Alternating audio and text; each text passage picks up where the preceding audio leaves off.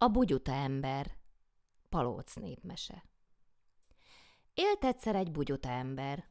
Ez olyan ember volt, hogy amit mondtak neki, mindent elhitt. Amit rábíztak, mindent elfelejtett. Egy napon megházasodott. Éltek nagy boldogságban. Boldogságuk talán még most is tartana, ha a búzájuk el nem fogyott volna. Azt mondja neki a felesége. Menj el a vásárba, nincsen lisztünk, vegyél egy véka búzát. Utána őröltesd meg, hogy kenyeret süthessünk.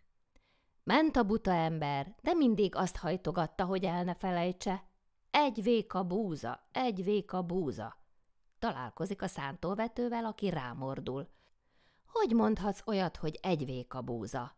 Három véka van az én földembe vetve, és különben is. Így kell köszönni egy szántóvető embernek? Hát hogy köszönjek? Úgy, hogy az Isten áldja meg a munkájukat.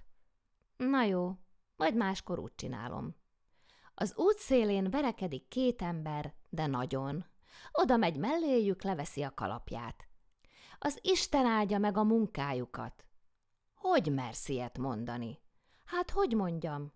Úgy, hogy válassza szét az Isten magukat. Na majd máskor úgy mondom. Mikor megy tovább, egy esküvői menettel találkozik össze.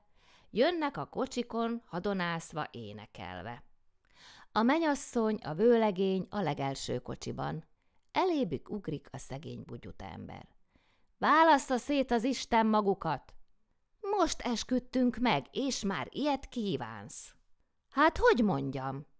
Tetted volna a botodra a kalapot, aztán íj, húj, húj, húj, húj, éjjeneztél volna minket. Na jó, máskor úgy csinálom. Megy tovább. Ott meg hajt két mészáros vagy hat disznót a városból.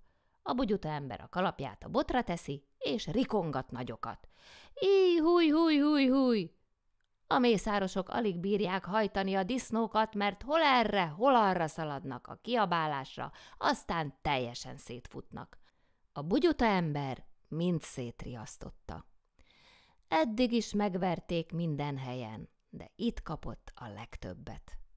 Ha a buta ember ebből tanult volna, az én mesém is tovább tartott volna.